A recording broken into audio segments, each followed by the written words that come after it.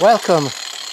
My daughter is uh, coming to visit us this weekend and I promised her that uh, I would uh, whip up a few homemade pizzas in uh, the pizza oven.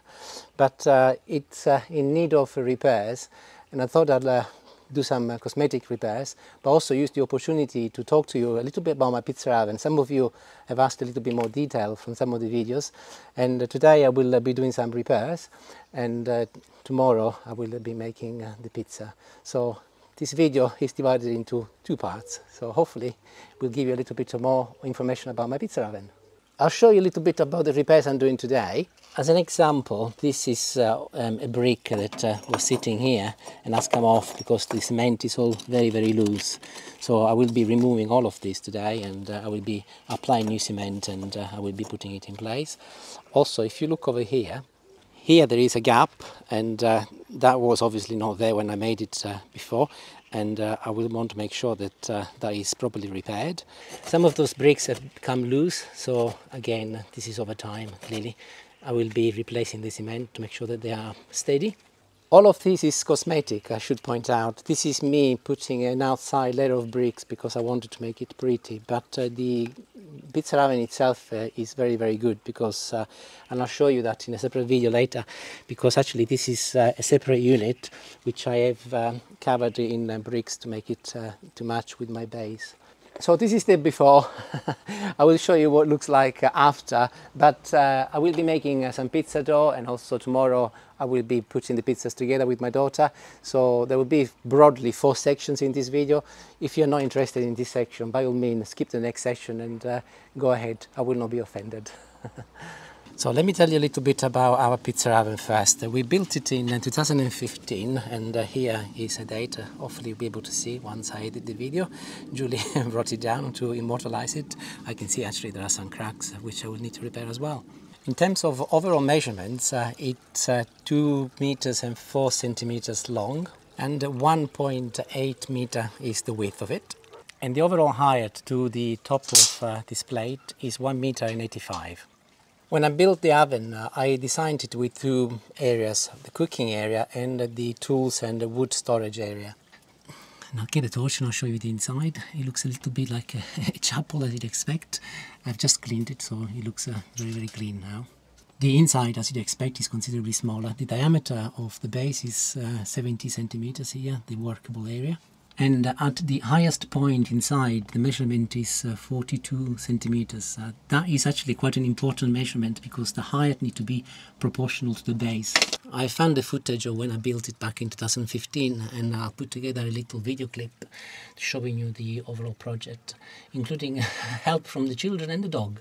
But uh, and as you can see underneath here uh, the base is uh, cement and of course some uh, wooden stilts that uh, hold another base and uh, then there is cement on top of this base. I left it in place because obviously much much easier to leave it than removing it but uh, it doesn't actually service much of a function today. Of course this is incredibly useful as uh, I store all of my tools in here and uh, also the wood for cooking purposes and as you will have guessed it was made to measure so that everything fits in nicely. As I mentioned earlier, these bricks are there for cosmetic purposes. They are not actually the bricks of the original pizza oven. I've done that to match uh, the base so that uh, it looks nice. These are paving slabs which are cut to size. They were left over when we laid our new patio and I made sure that uh, we had a good use for them. So the pizza oven itself is that smaller internal arch and uh, it weighs about 800 kilos and uh, I bought it from Portugal and uh, my job was to build uh, the external vest so that uh, it looks uh, in keep with the rest and of course the base. These bricks are called fire bricks or often referred to as refractory bricks. And the same applies to the bricks inside the chapel as well, although they are of a different shape. They look more like the normal traditional bricks, but they're also fire bricks. Fire bricks, I'll turn this off, are very similar bricks uh, to what you might find actually in storage heaters, where they have got an amazing property of uh, retaining uh, the heat and then releasing it during the day. In the case of pizza ovens, they have got the ability to withstand incredibly high temperature and uh, that is what you need when you're cooking a pizza. In Sicily, they reach the temperature of approximately 750 to 800 degrees and what that does effectively uh, allow the pizza to cook from the bottom up and you get a lovely crusty pizza. And uh, the temperature inside the oven will uh, cook the cheese and all of your ingredients. So within a minute to a minute and a half you get perfect pizza and that is what they are really really good for. But also they've been around for centuries well well before electricity was uh, invented. Uh, and that in the old days used to be the only way of uh, cooking actually. And uh, although I call it a pizza oven we use it for other stuff as well. We cook as you might have seen from some of my videos we cook meat vegetables and they come out with an incredibly smoky flavor which is different to what you might get uh, if you're cooking indoors.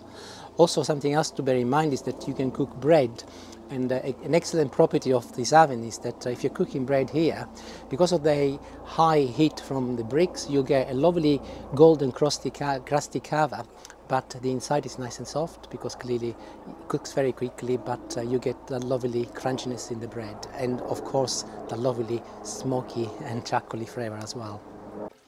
Generally in pizza oven, uh, the material used to make the firebricks is clay, but there are other products uh, on the market, such as alumina or carbon, which are other different products which might withstand even higher temperatures, but that is the most common uh, product. And I just wanted to give you a little demo. This is a, a fire brick which uh, I've taken out from a wood burner indoors just for the purpose of showing you. It's really light and it weighs uh, 660 grams. Yes, I weighed it. and uh, to give you some context, this is a, a general purpose brick which uh, is used for building purposes and uh, similar, not necessarily the same size, but uh, in terms of volume, I can imagine not too dissimilar, but this weighs 2.2 kilos. If I was to put this inside my wood burner within a couple of hours would break. The process for making uh, fire bricks is relatively straightforward actually, and um, some people even do it in their own home. I did think about it, but um, by the time I put the budget together, it was cheaper for me to buy than uh, actually making my own. But generally, the clay is crushed into a very, very fine powder, and then uh, is put into a mold with some chemicals, I guess, and then uh, let to dry, and then is uh, effectively cooked in, uh, at a high temperature and that's how they make them. But uh, also there are other products on the market and uh, clearly um, this video is not about you building a pizza oven, this is about me showing you mine. But uh, you can also buy stones which uh, you can uh, use inside your oven indoors if you like to give a, a bit of a charcoaly flavor to your pizza. Or indeed there are stones you can buy that you can put inside your barbecue. And I'll show you one because I, I had one. And here it is. Unfortunately clumsy me dropped it uh, when I finished cooking one day. There isn't even a picture of uh, a barbecue. I think this is made of cordierite as it's considerably considerably heavier. But uh, I do not really know why I've been throwing it away. Most probably it's because I paid 30 pounds for it. And I'm thinking oh I might be able to use it one day. But uh, there is uh, there are plenty of uh, products on the market for you to kind of mimic what a little bit of uh, the flavor you might get from a pizza oven. I better crack on with my repair work now, otherwise you will not be eating any pizza later, so I'll show you once it's done. And I'm back and I'm halfway there and I finished the removal of uh, the bricks which were loose and uh, this part here which is where the plate is, they're all in here. I've uh, put them uh, in the same order as they came out so I don't get myself all tangled up and I've done the same uh, with the bricks which we're making the arch here. So the next challenge now is to replicate the arch again. So I'll show you what to do to make my little template. And cardboard is going to be my best friend today. I will be building a template which will go on the inside part of my arch and hopefully will also be good enough to hold uh, the bricks while they dry up. I'll show you once it's made. Well, I thought this is quite fun, so decided to show you anyway. this is uh, the highest point, the tallest uh, point of my arch. So this is the very, very top brick, like that. And this is the width of uh, each individual brick, which is approximately, I think it's not approximate, it's 10 centimeters, yes. I'm using one of the bricks as a template, and uh, before the arch starts, there are five uh, individual bricks. And this is the, the mortar in between. So the sixth brick is where my arch starts, so I'll do that. And I've done the same on the other side.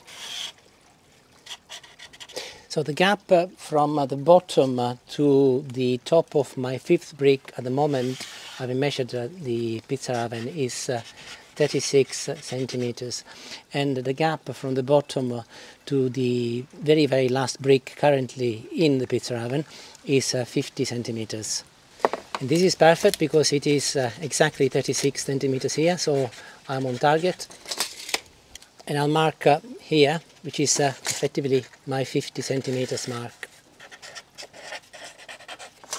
And I'll do the same on the other side, so 36 is good.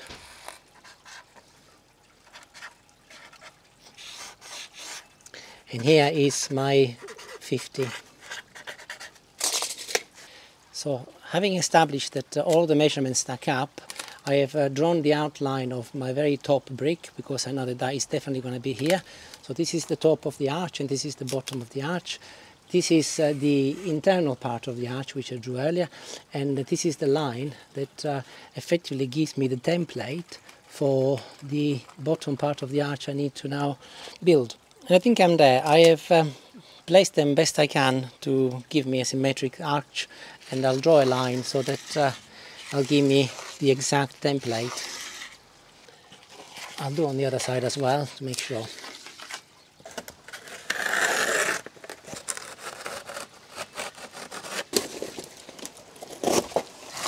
Before I proceed, let's see what it looks like. I have also left um, this uh, piece of cardboard at the bottom to provide me a base and uh, I have um, already cut the outline of the middle brick as this is definitely going to be there. I'm going to place the middle brick in position so that uh, it stays uh, steady. And I moved on the inside and I'm now scoring uh, the edge of uh, my last brick to ensure that I know exactly where to start. And I've also done the same here on the other side. You'll have to excuse the noises, that is Julie cleaning the window. and that's perfect. I've got uh, a perfectly matched outline of my inside arch and I'm going to be scoring now with uh, my pencil to ensure that uh, I can cut it safely. I just hope that uh, when I come to edit this video all of this will be visible. And using my knife I've scored through this line here but I've only gently done this one so that uh, I can bend it.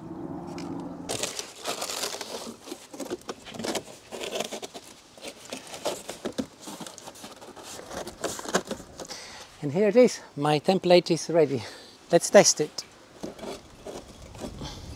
And uh, yes, I can see it's going to work. I have uh, got to take them out again because uh, I got tangled up and the bricks are not back in the original position. But uh, I can see that it's strong enough as I left the base and uh, it doesn't need to be there for very long anyway. So I think uh, I'm happy that it will do the job. Next is mixing some cement and getting on with the repairs.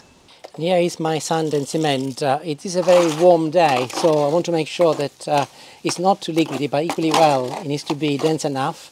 So I'm trying to achieve something which uh, is strong enough to hold my bricks. And as it is a very warm day, I will be spraying some water, otherwise the cement will dry too quickly and it will crack. And I start with the, the very middle brick.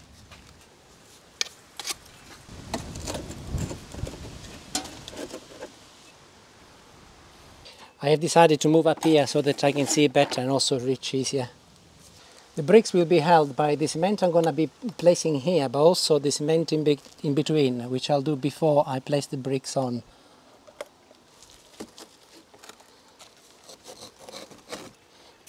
I had to take this one out as I put it the wrong way around. But it's back in now. I'm now ensuring that uh, the new bricks are level with uh, the outside of uh, the old bricks, which they are, and they look good. And I'll move to the other side. And I just uh, finished the other side as well, and uh, looks pretty good. And at the moment, uh, I'm just uh, roughly cleaning uh, the cement, any of the cement that I've left behind. Otherwise, if it dries, it's more problematic. So it's easier to do it now, so that I can then point them once I've done the rest. And I've moved the camera up here so you get to see better. But hopefully I will not uh, break it by smashing it. And uh, this will need to go here and I'll need to leave uh, approximately one centimeter from uh, the plate. So I'm going to be filling all of this gap with cement, which will also strengthen uh, the bricks on the outside. And then I'll uh, do some cosmetic on top to put it back to what it was.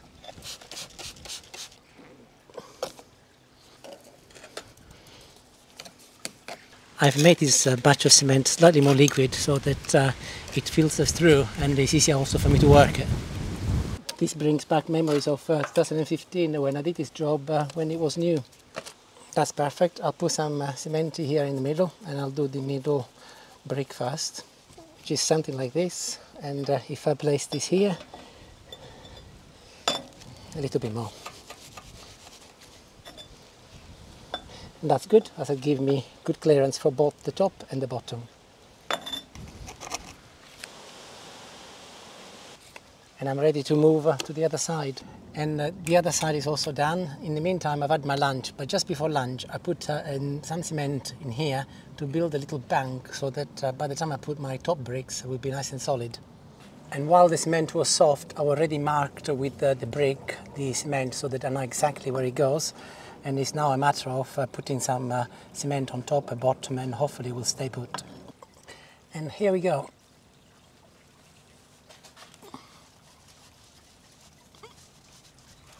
A bit messy but necessary. Yeah, it's nice and steady. A little tap to align it to the back brick and I'll do the other one next. Exactly the same principle. I've already marked it, so it should fit uh, nicely. And indeed it does. And I will leave them for a few minutes. I will not touch them at all so that this cement sets a little. In the meantime, while I'm fighting the cardboard, I'm uh, doing the pointing. Uh, and I think this is uh, one of the most important uh, jobs from a, a look perspective, really. You get this wrong and it won't look very nice. When I made this, by the way, the first time I didn't use cardboard. I had a proper piece of wood that I cut to measure, but uh, today cardboard is doing the job very well.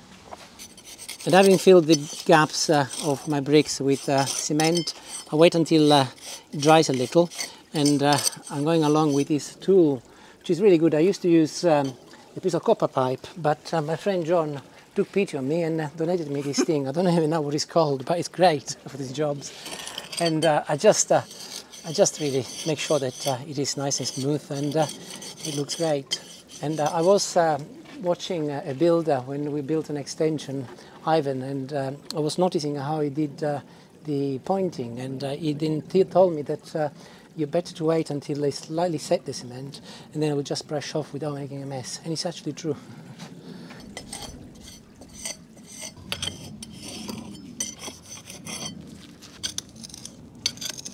And as my builder advised, go back with the brush and uh, take off the cement. And you'll have noticed, just like with food, when I finish something, Julie turns up. How can that be? well, I've finished my job now, so that's why I'm available. I've got something in my eye. So this is done for now. I will uh, leave it uh, clearly until uh, tomorrow afternoon when I start uh, the fire ready for the pizza and uh, then uh, I will remove the cardboard and hopefully it will stay in place. I don't see why it shouldn't. In the meantime, I think I deserve a nice long bike ride. I'll do that, and then I'll come back and I most probably I'll shave because uh, my daughter otherwise will not recognize me. and then uh, I'll make the door. So I'll see you in a few hours' time when uh, I make the door. See you later. Bye. A few hours later, and I am back, and uh, I've shaved as well. and he's caught the sun. I have, yes. I, that is called multitasking. See, I've done two things at once. I have uh, repaired the pizza oven, but also sunbathed at the same time. So, Judy, see, you're wrong. I'm jealous, actually, yes, because I was indoors all day, but never mind. Great. So I'm now going to make the dough very quickly, and uh, I will be using a recipe that uh, we use here. We've used for years, and uh, people have got recipes and they say a good recipe, bad recipe. I don't think it really matter. As long as you got something that works, use that. But if you do not have a recipe for your own dough and this is the first time you're making, by all means, make this one. And I'll be making a little bit more than what I need because uh, spare in case I make a mistake with the pizza, but also I'll be making a little bit more as I'll be using that to make some bread uh, and use the opportunity to use the oven. I'll be making enough for 8 pizzas, although I will not be making 8 pizzas tomorrow. I'm just giving you some measurements for context. So this is 1 kilo of uh, strong white flour, 650 milliliters of lukewarm water, and I'll start by adding uh, some uh, dry yeast, and these are 2 sachets of 7 grams each. Followed by 1 level tablespoon of uh, caster sugar. I'll mix everything with a fork and I'll leave it to rest for a few minutes next.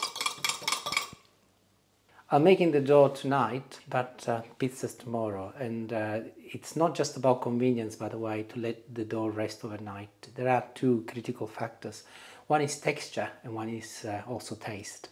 The more time the yeast has to ferment, the more the flavor of uh, the dough enhances, giving it a, a tangy sort of taste And also the slower fermentation will help uh, develop the gluten structure of the dough. This is because the gluten strands relax and it will make uh, the dough elastic and easier to work and uh, it will stretch nicely. But also when it cooks, it will uh, be considerably lighter and also also very very crispy.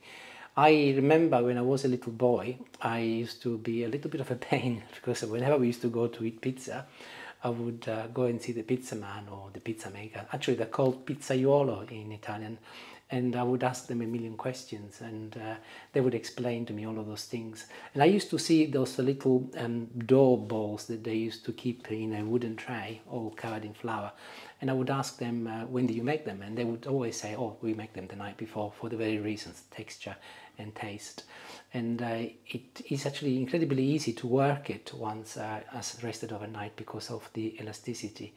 And uh, they, they, they, they, they, liked me. And actually, one, one day they invited me to make my own pizza. I was over the moon. I made a margherita. So I will uh, put all of my flour on the worktop. I like to work uh, on a nice base. I must say, I normally use this baby. This is my little toy. And she's got a, a bread uh, dough hook that spins round and it's, it's the lazy Julie version. But there we are, Francesco's going to do it by hand. Off you go, dear.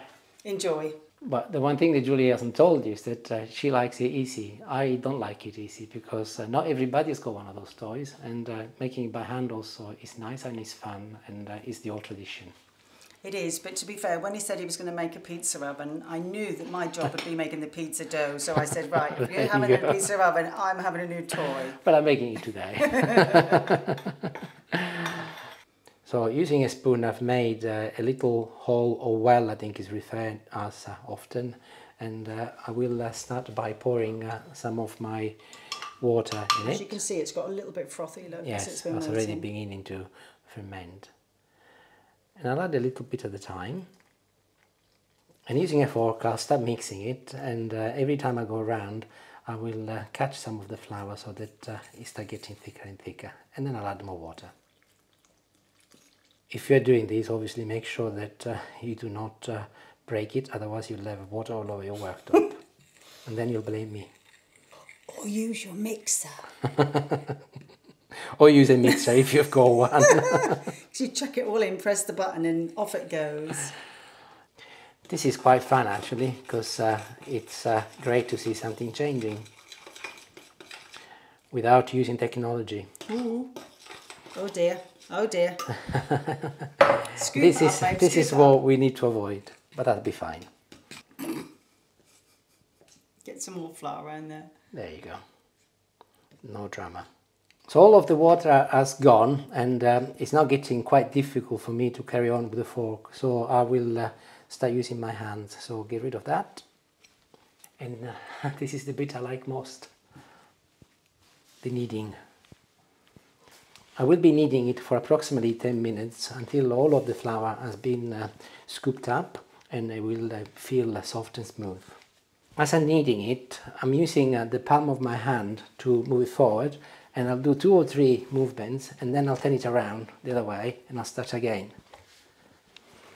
If you think about the old days, they used to do this every day when they used to make uh, bread or not necessarily pizza every day, but uh, or pasta. Just think of the muscles that they would uh, develop. So it's good exercise as well.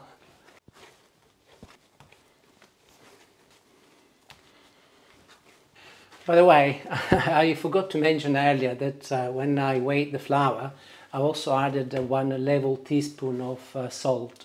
So do that at the beginning. Apologies, but uh, clearly important that you do that as well. How are you feeling today? Getting tired? Me? No, top of the world.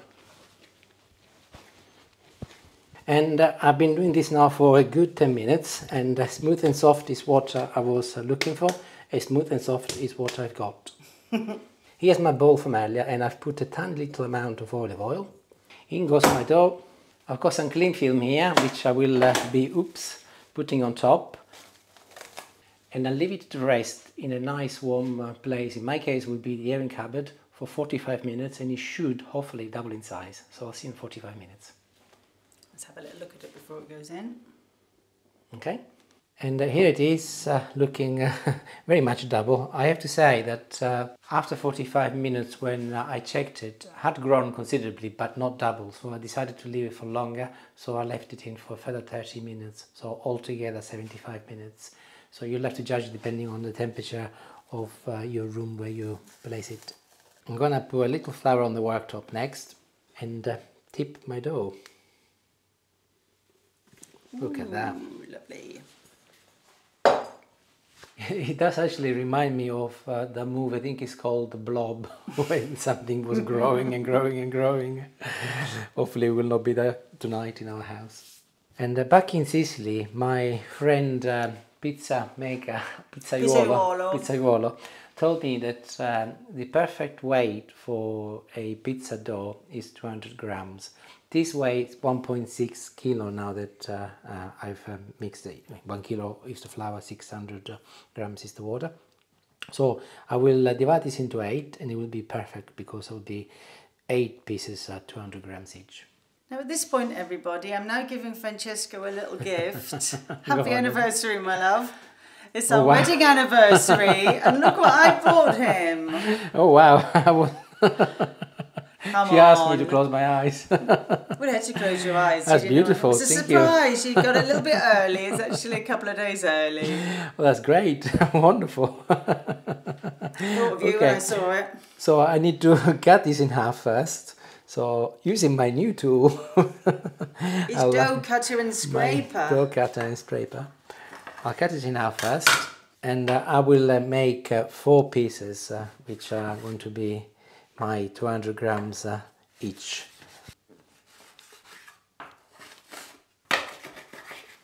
I have to be honest. There is a, very, very pleasant smell coming up from uh, from here. They're lovely and uh, soft and smooth. Here I've got a tray, and uh, I'll uh, sprinkle some flour as well. And uh, my little dough balls they will continue fermenting overnight. So I will be placing four per tray as uh, they will be growing. They need space. And uh, second tray is chicken tray. Take two. Take three and uh, they're ready, and uh, I will be placing them in a cool room, my office actually next door, overnight, and uh, they will continue fermenting. And uh, by tomorrow, they will have grown again. And I'll place also a damp cloth on top. And uh, this is uh, something actually which uh, my mum gave me, and uh, it was her mum's, my nonna Palmina, and uh, embroidered it, she love. she embroidered it indeed. Yes, so I don't know if you can see. has got some uh, emotional aspect to it. So I will uh, see you tomorrow when uh, we make uh, the pizza, and uh, by then my daughter Gabriella will be here, and we need to go and pick her up from the train station now. So arrivederci, buonanotte, see you tomorrow.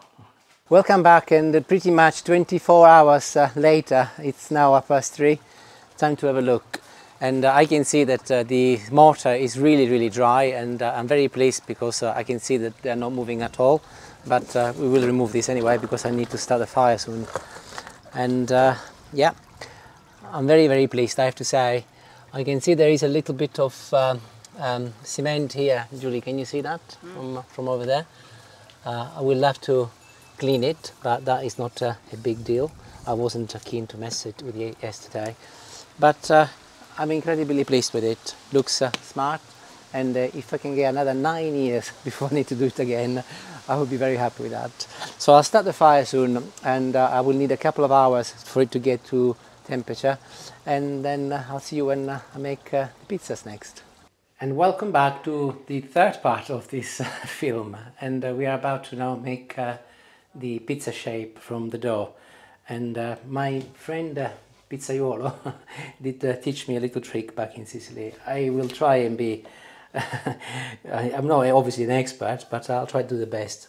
So the thing he did say to me is to put some flour at, uh, on, um, on a worktop and uh, make like a sombrero with your pizza dough. And I'll show you what I mean.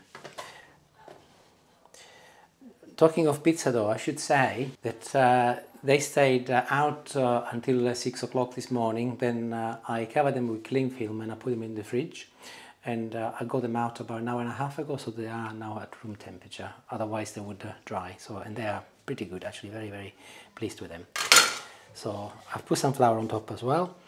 So place uh, the pizza dough on top of uh, the little mountain of flour and um, then uh, using your fingers start uh, effectively pressing it down and uh, you leave uh, the bit of a mountain in here and uh, start giving uh, the pizza dough a shape of a pizza, um, round shape by pressing it down. And by doing so, you push until you leave one centimeter for the edge of the pizza. The dough is really elastic, so it uh, will not break, but equally well, it's not about stretching it, it's about making sure that uh, you have the nice circular shape. And now I'm going to start pressing in the middle, and uh, it will be ensuring that uh, I've got plenty of dough also for the middle, otherwise it would have all gone on the sides. Now that it's all uh, even, I'm going to be using uh, this side of my hand, and I'll start pushing um, with the my hand against the sides. And uh, I can actually, because this is really elastic and uh, is uh, very, very, very well rested, I can turn it, no problem at all. And if you look, it's taking a nice round shape and it's flexing very, very well because uh, the dough is very elastic and uh, you can play with it uh, very, very nicely. That is not bad at all. No, Julie challenged me yesterday. Can you do the magic of uh, the pizzaiolo? I'll oh, try. don't spoil it with that. That was so beautiful. no, no, it's okay. And uh, just to show you, because it's so elastic, see, it's very, very easy to just uh, give it that uh, little shape if you want to play with it in the air. Not that uh, I am that good, but uh, it gives you an idea of the benefit of letting the dough rest overnight. Mm, brilliant. And that is one pizza base ready.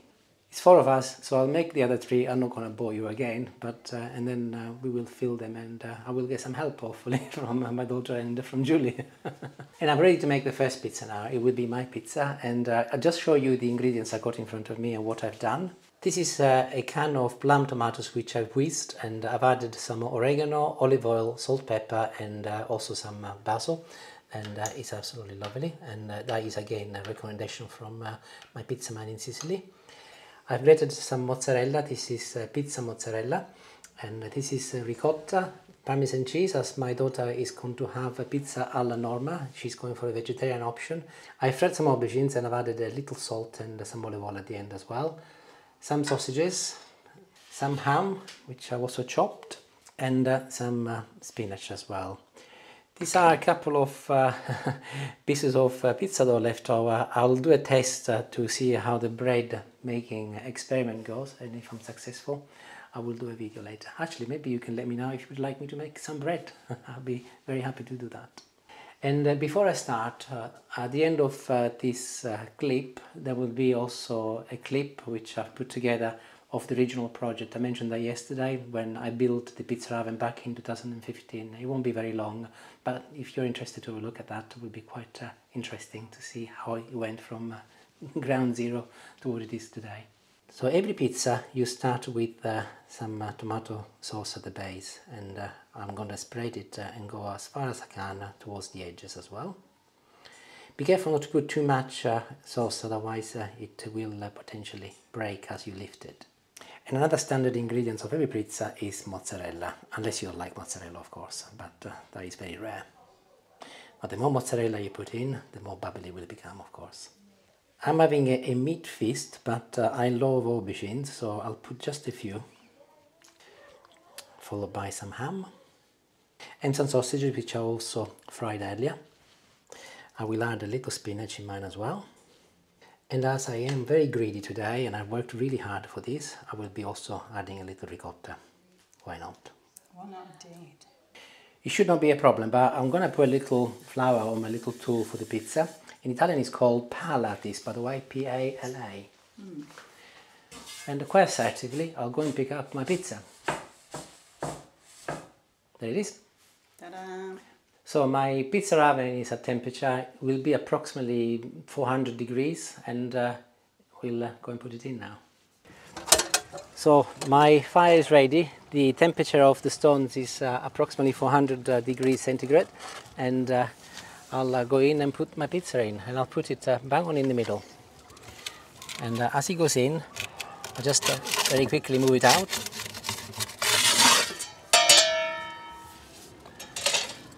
And I'll close the door so that uh, it uh, maintains the heat at the highest temperature. It has actually been in there for about 45 seconds and uh, you can see that uh, the edges are beginning to rise already and I'm going to turn it so that uh, it will cook uh, evenly across all of the edges.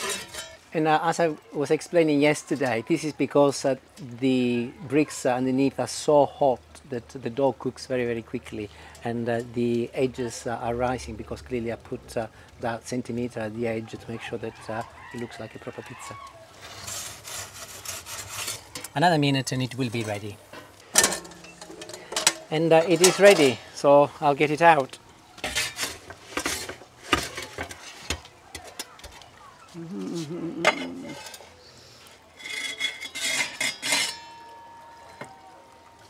And that, my friends, is a perfect homemade pizza in my own pizza oven. I will try while it's hot, and uh, in true Italian spirit, I'll uh, put a little olive oil around the edges, and uh, so that they'll soften up uh, the effectively the edge of the pizza.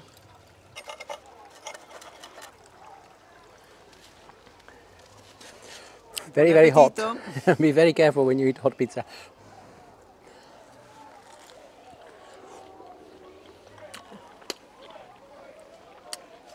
It's absolutely delicious. I, I have to say, I'm not just saying it, it's a, it's a wonderful pizza. You can try this uh, in your own oven. If you do that in uh, your indoor oven, put it on the maximum temperature. If it's uh, 200, 200, 250, 250, and obviously it will need more than two minutes, whatever, five, seven minutes, but uh, definitely worthwhile trying. Hope you enjoy the project and the pizza. Sorry if the video is a little bit long, but uh, And a bit noisy. There's a party next door. but uh, thank you for watching if you did watch to the end and uh, buon appetito arrivederci e grazie